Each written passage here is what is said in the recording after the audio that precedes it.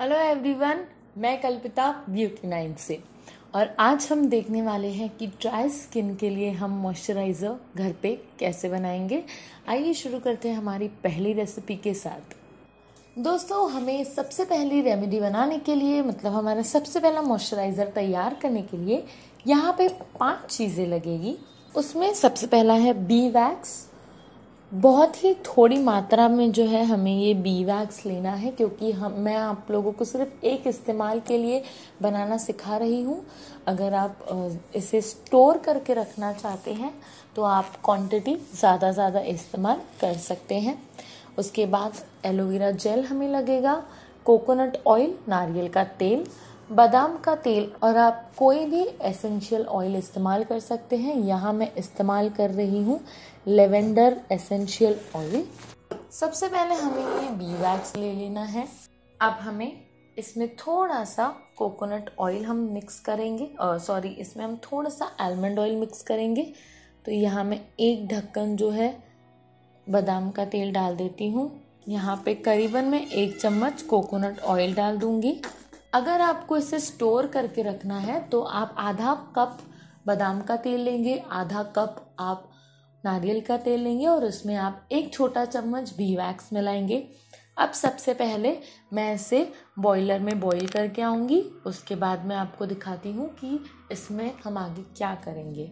दोस्तों, अब हम इसमें एलोवेरा जेल मिक्स कर देंगे, आधे चम्मच के आसपास। अगर आप स्टोरेज के लिए बना रहे हैं तो आपको तीन से चार चम्मच एलोवेरा जेल इसमें मिक्स करना पड़ेगा।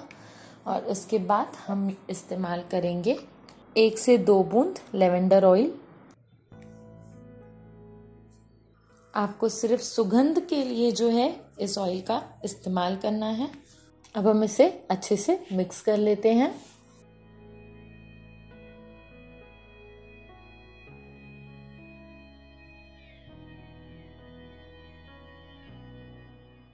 और ये हमारा मॉइस्चराइज़र ड्राई स्किन के लिए तैयार है।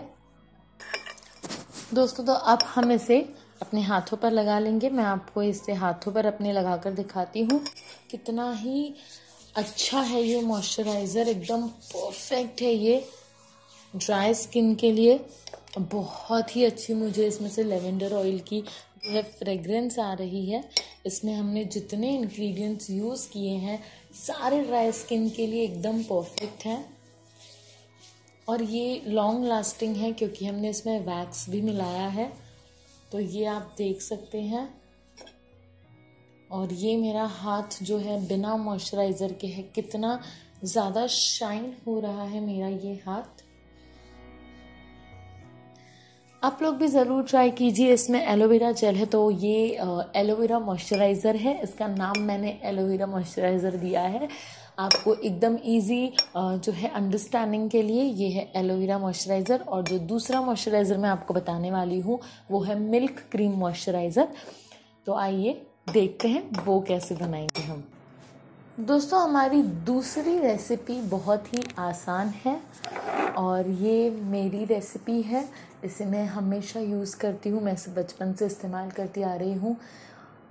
मेरी फेवरेट रेसिपी आप इसे कह सकते हैं, जिसमें हमें लगेगा मलाई, जो दूध से निकलती है। उसके बाद है जोकोबा ऑयल मतलब बड़ी इलायची का तेल जो है हमें लेना है। उसके बाद हम लेंगे बादाम का तेल, और हमें लगेगा गुलाब का तेल। अब हमें करना इतना है, हमें इसमें करीबन एक से दो बूंद जो है जोकोबा ऑयल मिक्स करना है, जो है बड़ी इलायची का तेल। उसके बाद हम इसमें डालेंगे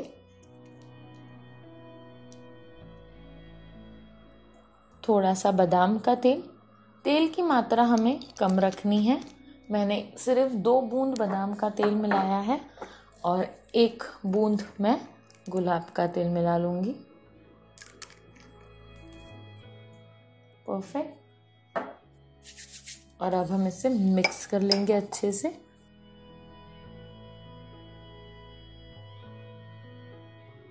और ये हमारा मॉइस्चराइज़र रेडी है।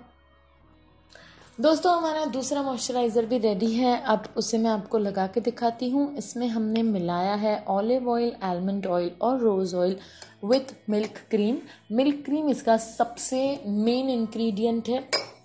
और ये ड्राई स्किन वालों के लिए एक बहुत ही अच्छा मॉइस्चराइज़र है। ये आप ज़्यादा दिन तक स्टोर नहीं कर सकते हैं। आप इसे ज़्यादा से ज़्यादा तीन से चार दिन स्टोर कर सकते हैं। वो भी फ्रिज बहुत ही ज़रूरी है इस मॉइस्चराइज़र को स्टोर करने के लिए। कोई भी मॉइस्चराइज़र जो मैं आपको घर में बनाने के लिए बता रही हूँ, उसके लिए फ्रिज जो है काफ़ी इंपॉर्टेंट है। ये दोनों मॉइस्चराइज़र्स आप अपने फेस पे भी बिल्कुल इस्तेमाल कर सकते हैं। तो ये आप देख सकते हैं, एकदम सॉफ्ट और क्लीन स्किन हो जाती है मिल्क क्रीम मॉइस्चराइज़र से। ये पुराने ज़माने से मिल्क क्रीम लोग ठंडी के सीज़न में इस्तेमाल कर रहे हैं या फिर जब उनको कोई ज़ख़म उनका ड्राई हो जाता है तो उसके लिए इस्तेमाल करते आ रहे हैं। बहुत ही पुराना नुस्खा है ये। तो इसे बस मैंने जो है इस्तेमाल किया है और मैंने आपको बताया कि ये एकदम मेरा फेवरेट वाला नुस्खा है जो मेरी मम्मी मुझे बचपन में किया करती थी। आप लोग भी बिल्कुल ज़रूर ट्राई कीजिए इस मॉइस्चराइज़र को और अगर आपको मेरी रेसिपीज़ अच्छी लगे तो प्लीज़ वीडियो को लाइक शेयर और कमेंट ज़रूर करें। और ऐसे ही वीडियोस के लिए मेरे चैनल को सब्सक्राइब करना ना भूलें। बाय